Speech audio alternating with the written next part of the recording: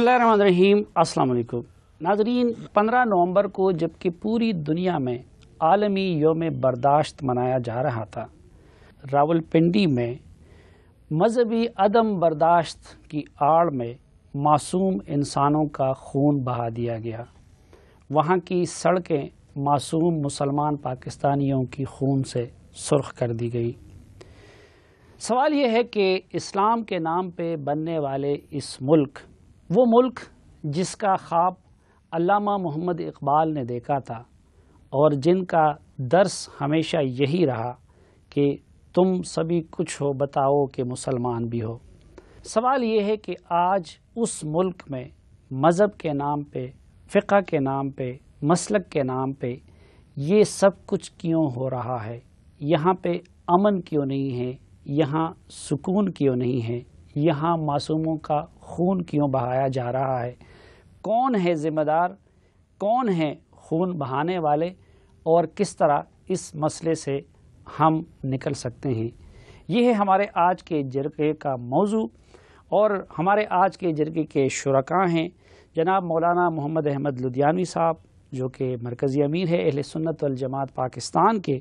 और हमारे दूसरे मेहमान हैं, अल्लामा अमीन शहीदी साहब, जो कि सेक्रटरी जनरल हैं मजलिस वहदतुलमसलिमिन के। हमारी बड़ी ख्वाहिश और कोशिश थी कि हमारे ये दोनों मुआज़ मेहमान आमने सामने बैठे, शाइस्तगी के साथ मुकालमा करें, इस मसले की तशखीस करें और किसी हल पे मुतफ़ हो जाए। हम मशहूर हैं कि मौलाना मोहम्मद अहमद लुधियानवी साहब तो उसके लिए तैयार थे लेकिन अल्लामा अमीन शहीदी साहब उनके साथ बैठ के प्रोग्राम में शिरकत करने से गुरेजा थे। इसलिए मजबूरन हमें इन दोनों के साथ अलग अलग गुफ्तु करनी पड़ रही है। इब्तदा में गुफ्तु होगी मौलाना अहमद लुधियानवी साहब से और बाद में दूसरे सेगमेंट में हम बात करेंगे जनाब अमीन शहीदी साहब से। लुधियानवी साहब, पहले तो ये बताइए कि आपकी तहकीकात क्या है? इस सानहा रावलपिंडी में कितने लोग लुकमा अजल बने कितने ज़ख्मी हुए? बसमीम इस वक्त तक जो मेरे पास मुसद का मालूम हैं उसके मुताबिक चौदह तलबा और वहाँ के नमाजी अच्छा। वो शहीद हुए हैं। ठीक। और सतावन के करीब ज़ख्मी थे जो मुख्तलिफ़ हस्पतालों में जेर इलाज थे और कुछ अस्पतालों से फारग होकर अपने घरों में जा चुके हैं। लेकिन चौदह को नब्बे और एक सौ चौदह और एक सौ पंद्रह बना के जिन लोगों ने लोगों को इश्तियाल दिलाने की कोशिश की आप क्या समझते हैं उनका ये अमल कुरान और सुन्नत की तालीमत से मुआफ़ था? यकीनन देखिए जब कोई ऐसा हादसा होता है उस वक़्त फ़ौर गवर्नमेंट के इदारों को मुतहरक होना चाहिए। गवर्नमेंट को मुसदा मालूम कौमी इदारों के ज़रिए से आवाम तक पहुँचा देनी चाहिए। एक तो ऐसा न हो सका। दूसरे नंबर पर कर्फ्यू का निफाद हो गया और तीसरे नंबर पर मोबाइल सर्विस उस दिन बंद थी। मुल्क में रबता किसी का किसी से नहीं हो पा रहा था। इस वजह से जिसने जो सुना, उसने मोबाइल मैसेज के ज़रिए से बात को आगे बढ़ा दिया। लेकिन प्रॉपर तहकीक के बगैर बात को आगे फैलाना यकीन यकीन जिससे जिससे फितनों के फैलने का और मजीद खतरात के बढ़ने का अंदेशा हो ऐसी बातें कभी भी किसी जिम्मेदार को नहीं अच्छा, इस दौरान मीडिया पे भी बहुत यानी अहल सुन्नत की तरफ़ से बहुत ज़्यादा तबर्रा भेजा गया। आप क्या समझते हैं कि मीडिया का रोल वाकई इस मामले में मुजरमाना था? देखिए मैं मुझे अफसोस के साथ ये बात कहना पड़ेगी। मैं तनकीद करूँगा तो शायद कई दोस्त महसूस करेंगे। आ, मैं ये ज़रूर बात कहना चाहूँगा। कि अगर मुल्क में होने वाले दूसरे हादसा जहाँ भी दहशत गर्दी का वाक़ होता है, अगर उसको इस अंदाज में छोटे वाक़े को भी बड़ा बना करके कई कई दिन तक पेश किया जाता है तो कौन सी वजह थी कि राजा बाज़ार में जामिया तालीम कुरान में होने वाले वाक़े को क्यों ना नशर किया लेकिन गाली तो इस बुनियाद पर पड़ी बदुआ तो इस बुनियाद पर दी गई कि आप लोग सैकड़ों हलाकतों को दस बारह बना के पेश कर रहे हैं। आ, वो उसी वजह से क्योंकि जब रबता न होने की वजह से लोगों ने वो खबरें नशर की हुई थी और टेलीविज़न के मुख्तलिफ़ चैनलों के ऊपर बहुत कम ज़ाहिर की जा रही थी जिसकी वजह से ये लोगों के अंदर शकूक व शुबात अबहाम पैदा हुए और फिर लोगों ने उसके ऊपर तबसरे लेकिन अलावा साहब देखिए पहले मैं ये जानना चाहता हूँ कि क्या इस्लाम के नाम पे बनने वाले एक जमहूरी मुल्क में, जिसमें कुरान और सुन्नत को सुप्रीम ला मान लिया गया हो, जिसमें आप किसी भी कानून और एक्टिविटी के ख़िलाफ़ अदालत से इस बुनियाद पर रुजू कर सकते हैं कि वो कुरान और सुन्नत के ख़िलाफ़ है। उस मुल्क में क्या फ़िका और फ़िरका और मसलक की बुनियाद पर सियासत की इजाज़त होनी चाहिए। देखिए, मैं पहले नंबर, अपनी तरफ़ से ये वजाहत कर दूँ सलीम भाई, कि हमारी जमात किसी फ़िरके की बुनियाद पर बनी हुई नहीं है। हमारी जमात का नाम पहले सपाह सहाबा था, ये किसी मसलक की बुनियाद पर नहीं है। इसी अंदाज में अगर गवर्नमेंट ने उसे बैन किया तो नाम अहल सुन्नत वल जमात है। अहल सुन्नत वल जमात किसी फ़िरके का नाम नहीं हुआ करता। सुन्नत पे चलने वाली जमात यानी रसूलुल्लाह सल्लल्लाहु अलैहि वसल्लम के तरीक़ों पर चलने वाली जो जमात है हम वही हैं। इसलिए हम किसी मसल की बुनियाद पर हमने अपनी जमात की बुनियाद नहीं तो हम तो हर मुसलमान को सहाबा का सिपाही समझते हैं। तो आप लोगों ने जब अपने आप को सिपाही सहाबा कह दिया तो ये खुद फिरका बंदी ना हुई। तो हम तो हमारा हमने उसको महदूद किया ही नहीं है। जो सुन्नी है जो अपने आप को सिहाबा का सिपाही कहलाता है वो हमारी जमात में है। हमने तो उसकी हदबंदी नहीं की हुई। लेकिन क्या उसमें कोई शिया मेंबर बन सकता है? जो सिहाबा को मानता हाँ। जो सहाबा को मानता है, जो अपने आप को सहाबा का सिपाही कहलाना चाहता है, हमारी जमात के सरबरा थे हज़रत मौलाना अलामा शेर हैदरी रहमत ला वो एक बड़ा खूबसूरत जुमला फरमाया करते थे कि सहाबा का जो ग़ुलाम है, हमारा वो इमाम है। हम तो शहाबा की नौकरी करने वाले को अपने सर का नहीं लेकिन अगर आपकी तंजीम में बरेलवी नहीं आ सकता अगर उसमें शिया नहीं आ सकता तो इट मीन्स की ये हमारी जमात में बड़ी तादाद में बरेलवी मसलक के नौजवान हमारी जमात में हैं। आल हदीस मसलक से ताल्लुक रखने वाले बड़ी हम्म। तादाद में हमारी जमात के अंदर मौजूद है और यही जमात है अल्लाह के फजल करम से जो इस मुल्क के अंदर देवबंदी बरेलवी आल हदीस तीनों मकातब फ़िक्र के जिम्मेदार कराम हमारे स्टेज तो पहले से जमात इस्लामी थी जे यू आई थी इस तरह तबलीगी जमात थी तो आप लोगों को एक नई जमात बनाने की ज़रूरत क्यों पेश आई? ये दरअसल इनकलाब ईरान के बाद पाकिस्तान में तहरीक नफाज फ़िका जाफरिया का हम्म। क़्याम अमल में आया। उन्होंने जमात बनाई तहरीक नफाज फ़िका जाफरिया। यानी इस मुल्क में फ़िका जाफरिया का हम नफाज करना चाहते हैं। तो वो तो एक लंबा किस्सा हो जाएगा। आप ये कहना चाहते हैं कि तहरीक नफाज फ़िका जाफरिया और उसकी सरगर्मियों के रद्द अमल में या उनकी सरगर्मियों को या उनके मकासद को रोकने के लिए आप लोगों ने तंजीम बनाई? जब उसकी सरगर्मियाँ इस अंदाज में आ, सामने आई तो रद्द अमल के तौर पर फिर ये जमात मौलाना अच्छा रद्द अमल के तौर पर बनी। बनाई लेकिन इस पूरे अरसे में आप लोगों के नाम अमाल में सुनियों के हक में क्या खैर है? क्या आप लोगों ने उस लिटरेचर को ख़त्म किया? या वो जिन चीज़ों पे आप मोतरस थे वो सरगर्मियाँ ख़त्म हुई? सिवाय इसके कि अपने सुनी अकाबिर भी इस रस्ते में मरवा दिए ये भी हो गया कि दुनिया में पाकिस्तान और इस्लाम की मज़ीद भी बदनामी हुई। तो आप ये नहीं समझते कि जिस मकसद के लिए आप लोगों ने तंजीम कायम की थी, वो मकसद पूरी तो नहीं हुई, बल्कि उल्टा मज़ीद वो सिलसिला बढ़ गया। सलीम भाई, देखिए, किसी भी नज़रिए को कामयाब करने के लिए, उसे मौसर बनाने के लिए और उसकी आवाज़ दुनिया में पहुँचाने के लिए कुर्बानी दी जाया करती है। आप पूरी तारीख इस्लाम का मुताल कर लें। इसके लिए हर दौर के अंदर ऐसे लोग कुछ रहे हैं जिन्होंने इस्लाम के गलबे के लिए कुर्बानियाँ पेश की हैं। यहाँ तक कि जनाब रसूल अलैहि वसल्लम का दौर मुबारक और हज़रत सहाबा कराम की कुर्बानियों का आप अंदाज़ा लगाएँ, हम तो कुछ भी नहीं है।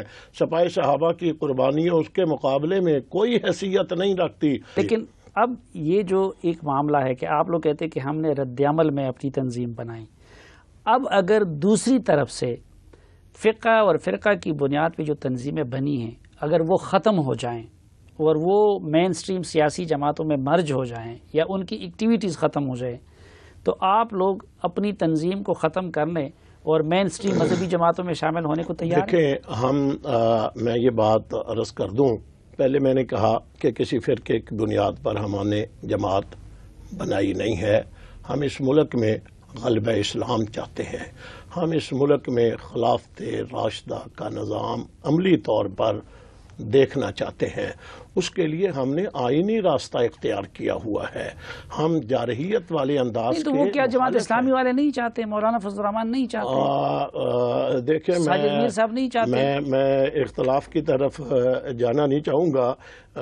मैं नहीं चाहूँगा कि मैं किसी का नाम लेकर या किसी के ऊपर तनकीद करूँ। ये ज़रूरत क्यों महसूस हुई? अगर वो हजरात इन उनवानों के ऊपर काम कर रहे होते तो शायद मौलाना हक नवाज़ को ये जमात बनाने की ज़रूरत महसूस ना होती। और मैं ये बात भी अर्ज़ कर नहीं आपने उसके जवाब में ये कहा जा सकता है कि अगर ये सही रास्ता होता तो देवबंदियों की सबसे बड़ी जमात मौलाना फजलरहमान साहब फिर इस्लामी निज़ाम की सबसे अलम्बरदार जमात जमात इस्लामी ये राय रखती। वो तो इन के बारे में न ये राय रखते हैं उनके साथ इकट्ठे मिल के सियासत भी करते हैं उनके साथ नमाज़ भी पढ़ते हैं। तो ये उल्टा ये बात आपके खिलाफ नहीं जाती अगर ये रास्ता सही हक होता तो वो भी इसको अपना लेते। सलीम भाई फिर ज़रा एहतियात बरत रहा हूँ। मौलाना फजलरहमान साहब अगर आज आल तशैयों के साथ बैठते हैं या सियासत करते हैं उन्हीं के वालद गिरामी कदर मुफ़क्र इस्लाम, जमीयत इस्लाम के कायद, हज़रत मौलाना मुफ्ती महमूद साहिब रहमत ताली उनका फतवा है फतावा महमूद जो है वो मौलाना फजलरहमान साहब ने अपनी जेर निगरानी उसे तरतीब दे करके शाये किया है। उनके अंदर भी वो फतावा जात तो अभी तो आप फरमा रहे थे कि ये इनकलाबी ईरान के बाद ये मामला शुरू हुआ है और वो मुफ्ती महमूद साहब का फतवा तो उससे पहले आया है। देखो ना ये ये आप इससे ये अंदाज़ा लगा लें कि जब भी किसी वक़्त भी हज़रत सहाबा कराम के ऊपर किसी ने तबर्रा किया एतराज़ किया उनके ईमान के ऊपर बहस की है ये मैं आपको सलीम भाई बता सकता हूँ चौदह सौ सदियों के अंदर चंद सालों के अंदर नहीं चौदह सौ साल के अंदर जिस वक़्त भी किसी ने ये अंदाज इख्तियार किया है उस वक़्त के अहल हक के राम अच्छा, ने एक मसला जो पाकिस्तान में बहुत ज़्यादा जिसकी वजह से बना हुआ है वो हर तरफ़ से फतवों का सदूर है। ये जानना चाहता हूँ कि पाकिस्तान जैसे इस्लामी और जमहूरी मुल्क में फतवा का इख्तियार किस फोरम, किस फ़र्द के पास है? यानी ये तो अहल तशी के अपने मुफ्ती हैं, बरेलियों के अपने मुफ्ती हैं दीवबंदियों के अपने मुफ्ती हैं। आप एक फतवा देंगे, दूसरी तरफ़ दूसरा तो ये अथॉरिटी कौन सी है? क्या हर फर्द को और हर जमात को फतवे का इख्तियार मिलना चाहिए? देखें मैं आपके सामने बैठा हूँ सलीम भाई। मैंने जामिया कासमुलूम मुल्तान में हज़रत मौलाना मुफ्ती महमूद साहिब रहमत ताला से बुखारी शरीफ पढ़ी है मेरे इस में हज़रत मौलाना मोहम्मद शरीफ काश्मीरी रहमत मैंने बुखारी शरीफ और तिरमदी शरीफ उनसे पढ़ी है मेरे पास जाम कासमूम की सनद भी है मेरे पास वफाकुल मदारस की सनद भी है हम्म। इसके बावजूद मैंने कभी अपने आप को मुफ्ती नहीं कहलवाया हाँ। इसके बावजूद मैं अपने आप को मुफ्ती नहीं कहलवाता मुझसे कोई मुझसे कोई हाँ। मुझसे कोई अगर फतवा लेने के लिए आए तो मैं उस मुफ्ती की तरफ़ उसको भेजता हूँ जो वाक़ता किसी मुस्तनद इदारे से उसने हम्म। वो कुतब पढ़ी हुई होती हैं जिनके पढ़ने के बाद बाकायदा ये जो फतवा होता है होती है ये जो फतवा होता है कौन मुस्लिम है कौन काफिर है ये इख्तियार क्या एक बड़े से बड़े आलिम को भी क्या उसको मिलना चाहिए या कि नहीं ये इख्तियार सिर्फ़ मुसलमानों के किसी इज्तमाही फोरम इस्लामी नजरियाती कौंसल पार्लियामेंट या इस तरह के इदारे के पास ही होना चाहिए। ये रियासत के सिवा किसी और के पास किसी को काफिर और मुसलमान डिक्लेयर करने का इख्तियार होना चाहिए? या या तो गवर्नमेंट को ऐसे मुफ्तियान कराम का एक बोर्ड बना देना चाहिए और कह दिया जाए कि जहाँ मसाइल में इख्तलाफ हो इस बोर्ड की तरफ़ रुजू कर लिया जाए। इसी अंदाज में बनी हुई है इस्लामी नज़रियाती कौंसल मैं उस पर भी तनकीद तो नहीं करता, लेकिन मैं ये जो जुमला कहूँगा कि उनकी सफारशात ही आया करती हैं और सफारशात के ऊपर कभी उनके ऊपर अमल आज तक नहीं हो सका। मैं तो आज भी आपकी बसातत से ये जुमला कह लेता हूँ कि इस उनवान के ऊपर भी अगर इस्लामी नजरियाती कौंसल को इख्तियार दे दिया जाए और उनके पास ये उनवान भेज दिया जाए वो हमें भी बुलवा लें हमारे फरीक मुखालफ को भी बुला लें। हम दोनों का मौक़ सुनने के बाद वो फैसला दे दें। मैं आपको वादा करता हूँ कि उनका फैसला मैं कबूल कर लूँगा। अच्छा यानी उसूली तौर पर आप ये मानते हैं कि फतवे का इख्तियार रियासत के पास होना चाहिए। ठीक है। किसी फर्द के पास या किसी जमात के पास नहीं होना चाहिए। ये ये जब जब रियासत के पास नहीं होगा इदारे के पास नहीं होगा तो जिसने इफ्ता पड़ा हुआ है उसको तो इखलाकी तौर पर ये हक हासिल है। आखिर हमने मसला पूछना है फतवा लेना अच्छा है मैं अगर ये तो किसके पास नजरीन अपने मेहमानों के साथ इस गुफ्तु को कंटिन्यू करेंगे लेकिन एक मुख्तसर से वक्फे के बाद।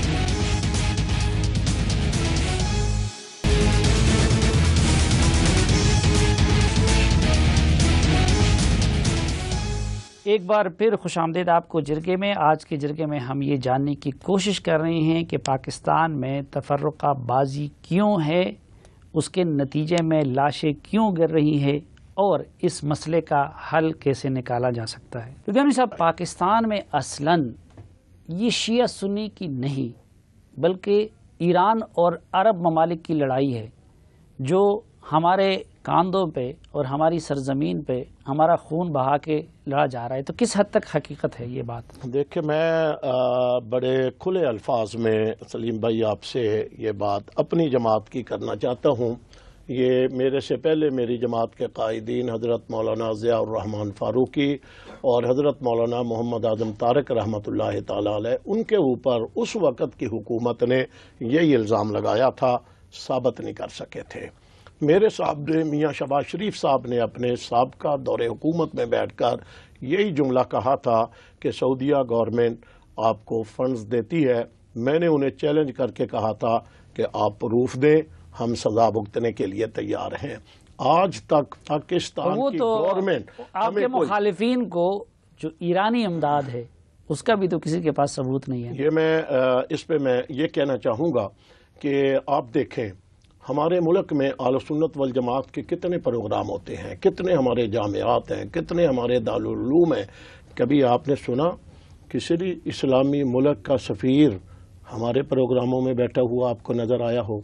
इस्लामी मुल्क का कोई सफ़ीर कभी हमारे इदारों में आपने आया हुआ देखा हो? कभी वो नहीं आते? और ईरान के सफ़ीर यहाँ पर आपको मुख्तलिफ़ मजालस में मुख्तलिफ़ जुलूसों में भी आपको वो नज़र आ जाएँगे। वो वहाँ जाते हैं और पाकिस्तान अरब के ममालिक आले के सफीर भी यहाँ पे बड़े तकरीबात में जाते हैं और हर जगह एक्टिव रहते हैं। मैं मैंने आल सुन्नत वल जमात मैंने तो एक जमात का नाम भी लिया ये मुतालबा करते हैं कि अरब सफीरों को और ईरानी सफीर इन सब पे पाबंदी होनी चाहिए। पाकिस्तान के अंदर किसी किस्म की भी सियासी सरगर्मियों उनकी उनकी जो जिम्मेदारियाँ होती हैं वो अपनी जिम्मेदारियों को निभाएँ उनका किसी जमात के साथ किसी मसलक के साथ यहाँ के इदारों के साथ उनका कोई ताल्लुक कोई वास्ता नहीं सिर्फ़ हुकूमत से वास्ता रख के जमातों से अलग वास्ता ना वो होते भी इसी काम के लिए। ईरानी भी और अरब ममालिक के मेरा मैं मैं आपके मौकफ की तायद करता हूँ अच्छा एक कुछ लोग ये तजवीज़ करते हैं कि आजकल के पाकिस्तान के मखसूस हालात के तनाजुर में यहाँ हर किस्म के सियासी और मजहबी जलूसों पे पाबंदी लगनी चाहिए और जलसों के लिए हर शहर में जगह मुख्त होनी चाहिए। हुकूमत अगर इस तरह का इकदाम करे, आप सपोर्ट करें? बड़ी अच्छी बात आपने लीम भाई कही है और बड़ी बर वक्त कही है। जामिया तालीमुल कुरान के वाक़ के बाद उस दिन से मैं मीडिया के ऊपर बहुत सारे ज़िम्मेदारों के बयान ये सुन रहा हूँ। अखबार में बहुत सारे ज़िम्मेदारों के और जमातों के ज़िम्मेदारों के बयानात आ रहे हैं इस साने ने पूरे मुल्क के अवाम को हिला करके रख दिया है। ये मुतालबे ये आवाज़ आम हो रही है कि मजहबी जमातों के जुलूसों के ऊपर पाबंदी लगनी चाहिए। गवर्नमेंट अगर ऐसा कोई इकदाम करती है और करना चाहिए ताकि ये होने वाले फसादात इसकी अमली तौर पर रोकथाम हो सके और बहने वाला खून रोक सके। इन जुलूसों की आड़ में जो अरबों खरबों की तादाद में लोगों का नुकसान होता है जहाँ कहीं गड़बड़ होती है। जैसे अभी तालीमुल कुरान के नीचे जो मार्केट थी जिसका वहाँ के ताजर कहते हैं छः अरब रुपए का नुकसान हुआ है। दो साल कबल कराची की बोल्टन मार्केट में जब आग लगी थी वो भी दस मुहर्रम ही का दिन था वहाँ अरबों रुपए का नुकसान हुआ था। और इन जुलूसों की वजह से नौ दस मुहर्रम मुकम्मल छुट्टी होती है। और भी है लोग और भी मुतालबा वो क्या है कि फ़िका मसलक और फ़िरका की बुनियाद पर कायम तंजीमों पर भी पाबंदी होनी चाहिए। देखें मैं, मैं, मैं कहता हूँ पाबंदी किसी मसले का हल नहीं है। मैं गलत बात करता हूँ कानून की शक्ल में मेरी गिरफ्त होनी चाहिए। कोई और करता है उसकी कानून की शक्ल में गिरफ्त होनी चाहिए। यहाँ गिरफ्त नहीं है जिसकी वजह से बातें आगे बढ़ा करती हैं। और मुझे यह भी अफसोस के साथ ये बात मैं मैं उस बात को पहले मुकम्मल कर दूँ। अगर पहली बात को मुकम्मल कर दूँ कि अगर अगर गवर्नमेंट पाकिस्तान मुल्क में मजहबी जमातों के जुलूसों पर पाबंदी लगाती है तो सबसे पहले मैं ऐलान करूँगा हम अपने तमाम जुलूस जो हैं वो महदूद कर देंगे। और अगर फ़िरका की बुनियाद पर जमातों पर पाबंदी लगाती है तो भी सबसे पहले ऐलान आप करेंगे? आ, देखें फ़िरकों की बुनियाद पर अगर हो कि वो फ़िरका वारियत फैलाने वाले हों। तो मैंने पहले कहा क्योंकि सफ़ाई सहाबा को बैन किया तहरीक जाफरिया को बैन तो किया मसला तो हल ना कर लेगी ना कि मसला तो हल ना निकल सका। फिरका वाराना बुनियादों पे कौन सी नहीं है? ये इख्तियार भी फिर उसको दे देंगे। आ, देखें जब वो वक़्त आएगा तो इन मेरी तरफ़ से आपको मुस्बत जवाब आएगा। बहुत शुक्रिया मौलाना मोहम्मद अहमद लुधियानवी साहब प्रोग्राम में तशरीफ़ लाने का। नाजरीन एक मुख्तसर सी ब्रेक लेते हैं और जब वापस आएँगे तो जनाब अल्लामा अमीन शहीदी साहब हमारे साथ होंगे, यही सवालात उनके सामने भी रखेंगे और जो जवाब उनकी तरफ़ से मिलेंगे, वो आपके सामने होंगे एक मुख्तसर से वक्फे के बाद।